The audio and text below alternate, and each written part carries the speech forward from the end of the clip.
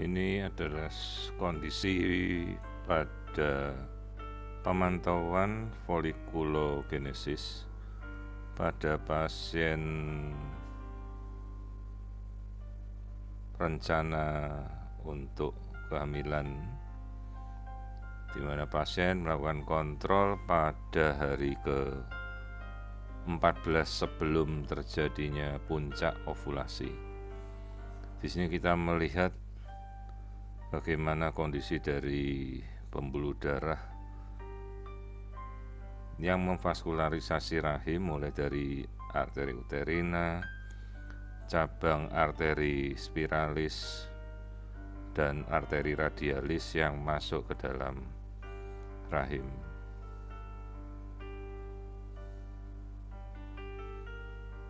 Berikut adalah tampilan dari arus darah pada arteri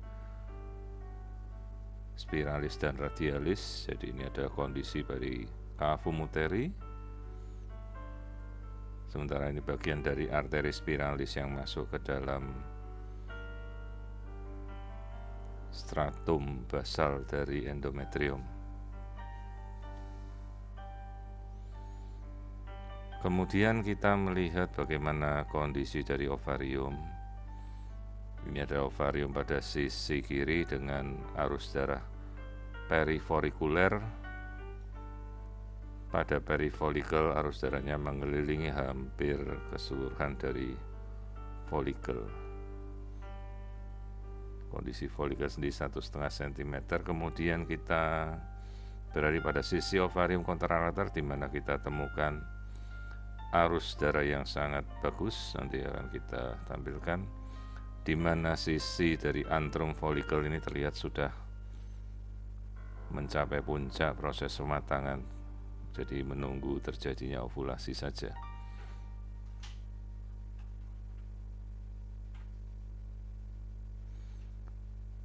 Nah, di sini kita akan melihat bagaimana kondisi dari folikel.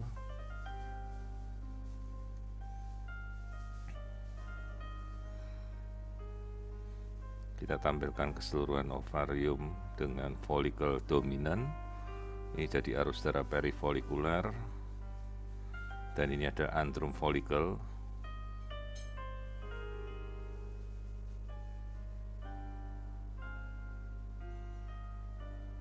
ini adalah puncak folikel matur sebelum terjadinya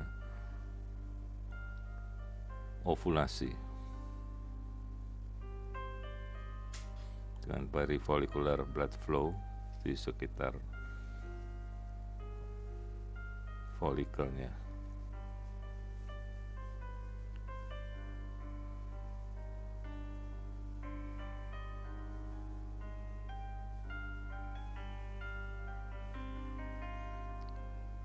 Arus darahnya sendiri sangat dominan di mana dalam kondisi seperti ini kemungkinan folikel ini akan ovulasi dengan baik.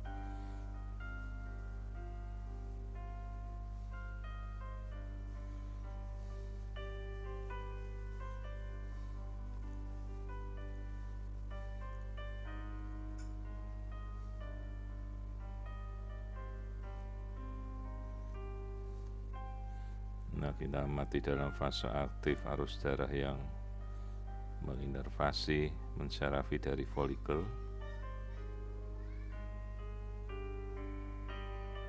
Ini adalah struktur dari antrum folikuler normal.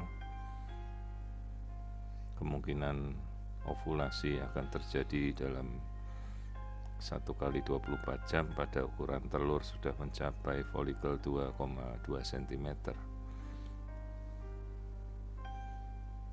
Hingga prediksi kemungkinan terjadinya ovulasi cukup tinggi.